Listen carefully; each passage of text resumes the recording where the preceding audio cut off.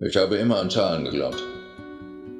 An die Gleichungen, die Gesetze der Logik, die zur Vernunft führen. Aber nach lebenslangen Bestrebungen dieser Art frage ich, was ist die Logik in Wahrheit? Wer entscheidet, was Vernunft ist? Meine Suche führte mich durch das Physische, das Metaphysische, das Wahnhafte und wieder zurück. Und ich habe die wichtigste Entdeckung meiner Karriere gemacht. Die wichtigste Entdeckung meines Lebens.